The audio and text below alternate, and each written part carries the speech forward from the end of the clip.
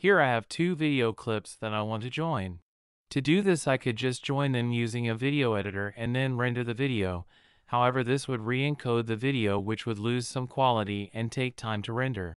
To join two video clips without re-encoding, first you will need to download and install FFmpeg.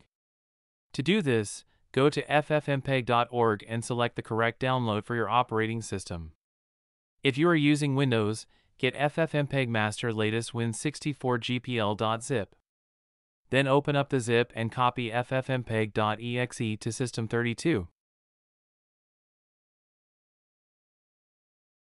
Then in the folder that contains the clips that you want to join, make a new file called list.txt, and on it type the name of each video file that you want to join, preceded by the word file.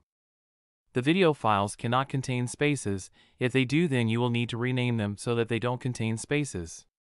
If you want to generate this list automatically rather than typing it manually, then click on the address bar, type CMD and press enter. Then type dir forward slash b greater than list txt and press enter, then open list txt with notepad++, remove any file name that are not the video clips that you want to join, then while holding down the Alt key, drag at the beginning of the text lines and type file space. Then click on the address bar, type cmd and press enter. Then type ffmpeg space hyphen f concat space list dot txt space hyphen v codec copy space hyphen a codec copy and then choose a name for the output file. Here there is a problem which is that FFmpeg doesn't support putting PCM uncompressed audio in an MP4 container, but these source files contain PCM uncompressed audio inside an MP4 container, even though the MP4 container does not officially support PCM uncompressed audio. This won't be a problem if your video files use AAC audio which is more common, or use a different container. One solution to this problem is to use a MOV container which does officially support PCM uncompressed audio.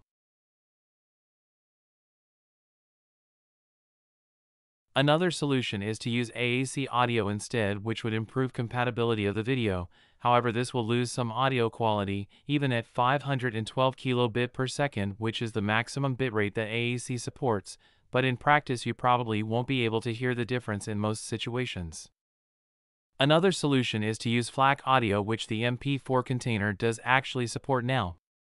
FLAC is the best audio format in the fact that it gets the audio as small as it can without losing any quality, however using FLAC audio inside an MP4 container will reduce compatibility and the video file may not play on some devices and some software.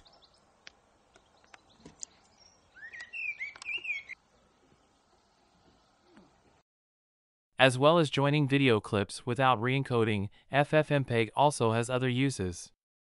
You can transplant the video and audio codec into a different container without re-encoding. You can also mute a video without re-encoding.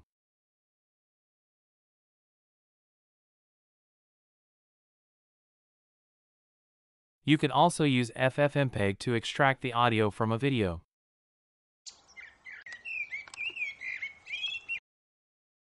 There are also many other things that you can do with FFmpeg, such as adding audio to a video without re-encoding.